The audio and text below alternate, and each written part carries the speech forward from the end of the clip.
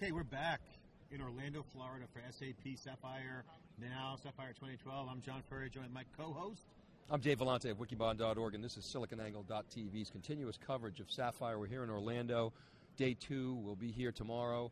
Uh, this is our third year here, John, and uh, I think we're really getting a, a, a, good sense of the transformation of SAP. Some bold moves by the co-CEOs, the big executives, and their their chairman Hasso Plattner, really doubling down on new technologies in memory, mobile, social, the cloud. Yeah, Dave, you know, people are trying to figure out what's going on in technology and, you know, whether you're out there gaming and or, you know, looking at Facebook's IPO, which is happening this Thursday at a $96 billion valuation. Mark Zuckerberg's to worth billions, new billion millionaires being minted all over the place. You look at Twitter and the, the rise of Twitter, the rise of Xbox and gaming. A new world has arrived and the consumer market has changed all that. And so we're here on the ground with theCUBE, our flagship telecast, Dave, uh, to talk in this. is our third year. And we're seeing the mega trends, the ones that are going to change work and play. So what's interesting to me here about SAP Sapphire is, we kind of teased about this last year, is that business is becoming consumer-like. So things we see, trends we see in gaming, uh, multiplayer gaming, trends we see in how people use smartphones for play and for work, trends we see in Twitter are coming onto the enterprise. Specifically the role of Apple Computer. Apple Computer has shown the way for companies that they can actually operate a business that way.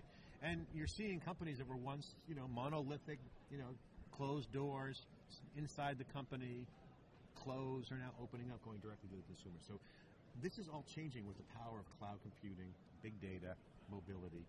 And really, we're unpacking that day. So to me, I think that's the aha moment here is that it's all happening with companies like SAP, EMC, uh, VMware, and that's really a big trend, and that's the big story here. You know, and we had Reggie Jackson on earlier, and I was actually struck by his comments. Um, he's here representing Callaway, and and he was talking to Bill McDermott about um, SAP and what it stands for, and the P. He kept coming back to people, and you're hearing a lot about people, a lot about personalization.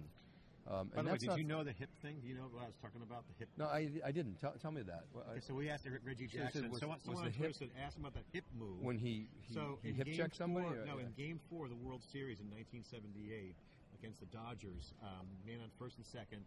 Reggie was on first. Lou Piniella was on second. No, um, Thurman Munson was on second. Um, Lou Piniella was up and hit a ground line drive ground ball. Reggie Jackson had to stop in between first and second. The ball was going to be caught, and he went on to explain and it wasn't caught. And so the guy stepped on second, shortstop went to second, they went for the double play, the Lou Piniella, easy double play. Reggie, they allegedly claimed, turned his hip into the ball and it hit him. The ball squibbed into left field, and Lou Piniella not only made first, went to second, Thurman Munson scored. They went up winning. Oh, I do. You know, I do now. I do remember that and play, and I and I thought he did it on purpose, but he said he didn't do it on purpose. But you remember the Red Sox when you know Alex Rodriguez did the elbow, well, he, yeah, he slapped the, he slapped the ball out so, of. Uh, you know that, you that know, was definitely on so, purpose. You know, I didn't put it together. I, I, now I remember it. I have to look it up on Wikipedia. But when you think about it, did you see his reaction? Reggie Lewis, Reggie Jackson's reaction. Yeah, he, he was. Um, wait a minute, I want to talk about that. Obviously, he's been addressed. it. He was um, charged up. Yeah, that was a good segment, and, and uh, like I said, a lot of people didn't know he was a great football player, and, and, and he basically, I think, in a, actually a humble way, but, but it was genuine, said, he could have been a very successful professional football player and had a great career, but he chose to go to baseball for economic reasons. He needed the money. Dave, I want to ask you kind of an analyst question because you are you are covering the big trends. What do you think, and what do you see, and what would you share with the folks out there that are that are younger, that are in the industry, who are trying to, who haven't been through all the experience that we've been through, uh, and the cycles of innovation that we've been through? Um, how do you explain what's going on in today's world to someone who's, you know, under the age of between 15 and 30? About what's happening in this culture right now relative to technology. What would you, how would you explain to that person? Well, specifically as it relates to, you know, our world, this, this enterprise, I think that, um, you know, computers used to be something that were, you know, used in the back offices for just accounting, and and the young people of this world, the, the, the, the gamers, the people who are using devices and iPads, are actually dramatically changing our business. It's amazing, right? It used to be technology value would trickle down into the smaller devices. It's absolutely the reverse now. You guys have covered this in SiliconANGLE forever. Technology is everywhere. It's ubiquitous. It's it's a it's a it's an embedded part of our lives. Uh, you can't do anything without touching technology. And I think that for the young people out there that are looking, you know, to to participate in that, there's just so many opportunities now. You know, we keep talking about gaming. You know, my, my eight year old wants to be a gamer. He wants to write programs for gaming. I'm really encouraging to to go on places like Justin TV. To you know, I mean, I don't mind when he's playing these video games because I think he's learning. And um, I think you got to dive in, you know, start building apps and start learning how to code and learn HTML5. I mean, I think that's that's where it's at. You can you can Tech do great. is a lifestyle. I mean, t- you know, don't you think? I mean, we've been talking about this all the time in the Cube. Is that, and the reason why we do this show, the Cube, which you're watching here, folks, is that we want to go to where the stories are, and we want to want to talk to the people who are making the big trends happen, the mega trends. And we we go out and cover SAP for three days for eight hours a day because we can. And I think what's important is is that as technology changes, it's a culture. Reggie Jackson here, a baseball Hall of Famer in his 60s, talking about I'm going to get on Twitter. I already got my account from Jack Dorsey. Um, is exciting. You have celebrities in LA, movie stars, all have Twitter accounts. You have all the athletes have social media. Businesses are the last adopters of this trend. And so if you're a young person and you're on a gamer, you're living the culture of tech. Tech jewelry is soon will be a thing of the future.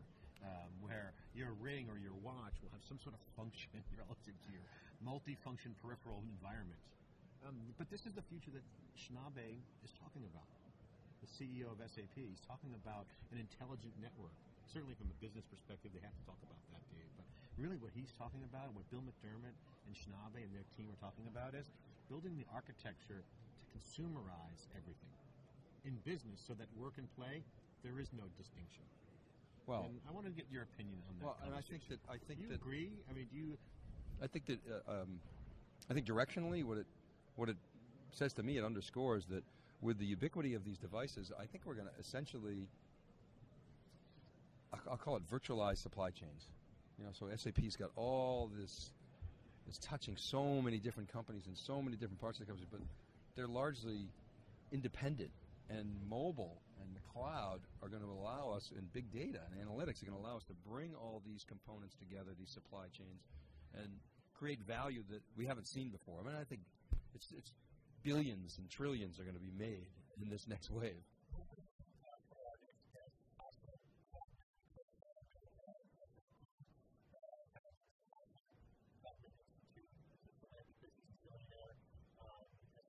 Literally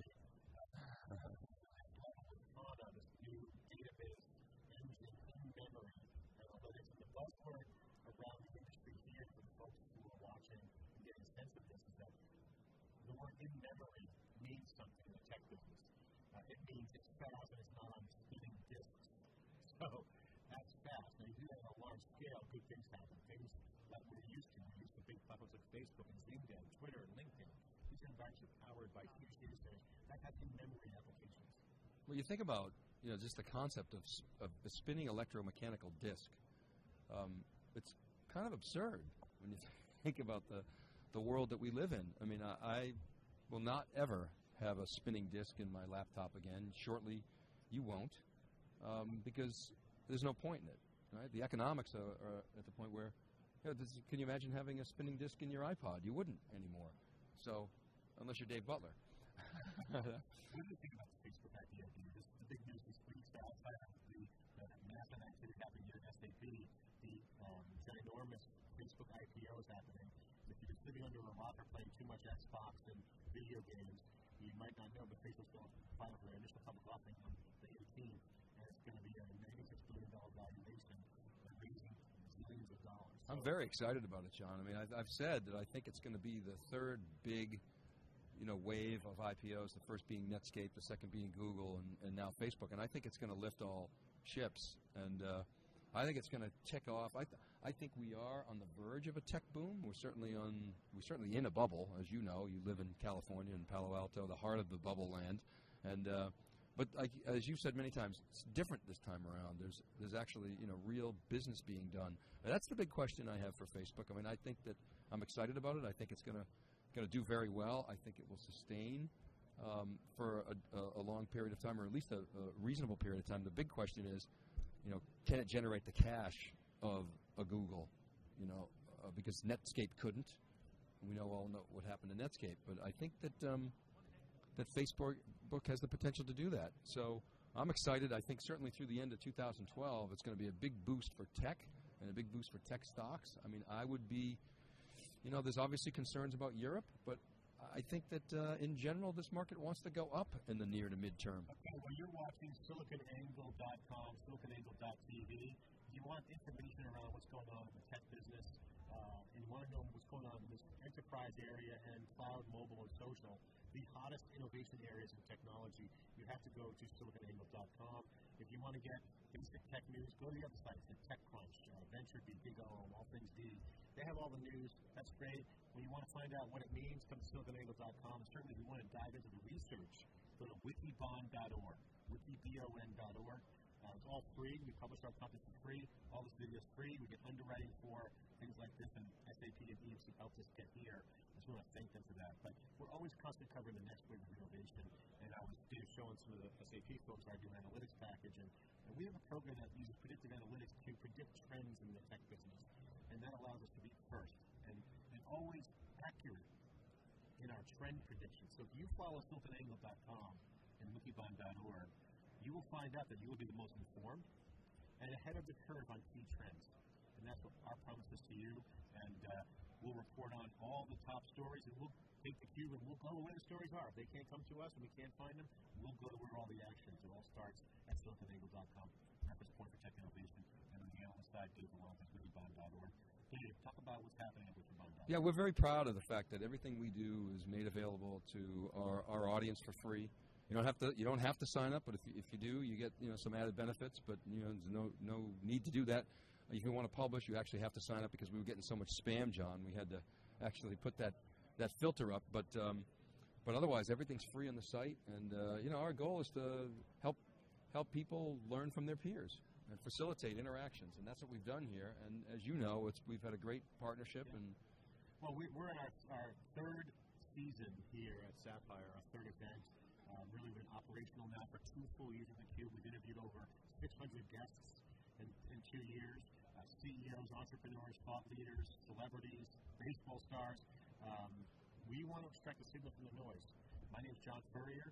I'm the founder of Silicon Angle, and I'm with Dave Vellante, um, founder of Wikibon.org. And we're excited to bring you all the action. Now, we're going to take a quick break and be right back with our next guest and talk more about tech and what's happening at Sapphire while we wait for Hasso Plattner and Jim Schnabel, CEO of SAP, who will be on shortly today.